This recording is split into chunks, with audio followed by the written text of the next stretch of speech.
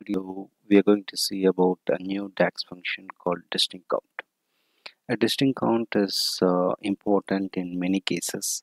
Like you want to find um, different products by a category I mean number of unique products under that category or you can analyze with different other dimensions as well. So in this particular location how many products has sold and based on the different slices it can be a different dates and also distinct count if you have a null in a column how to handle it.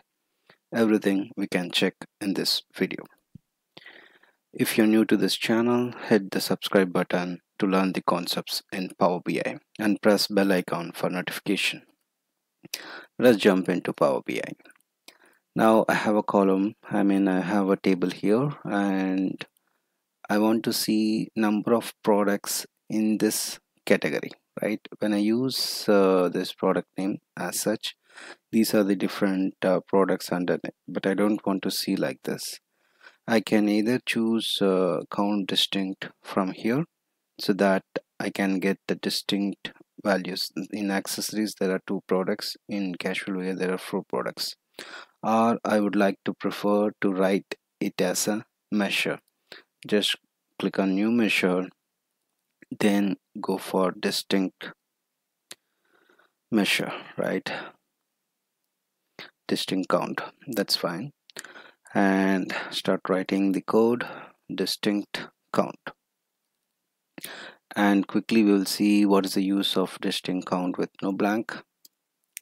There you go this is the formula and I've used here. So it returns the same value. Even you can see I will drag and drop the name and I will put distinct count once again. So both results are same identical. So either while doing dragging and dropping a column and you choose the aggregation to distinct count or explicitly you can write the measure. Both results are same. Let's try to see the data how it looks like. So this is our data where you have 10 products out of which two are empty. I mean the name whatever you want to see the distinct count. So it corresponds to formal and accessories. So these blanks are also included in the results. For formal and accessories you see the count the accessories is 2 and formals is 2 so it is including the blank values as well even you can see the total it try to find the distinct values of it. There are 10 entries here out of which two are blank. So it consider one distinct value from here. So 8 plus 1 is 9 values. So this is what a distinct count will do. But you may think like I do not want to see this blank. I do not want to count the blanks. Then in that case you can go for a new measure called distinct no blank. Let us try to see this. No blank.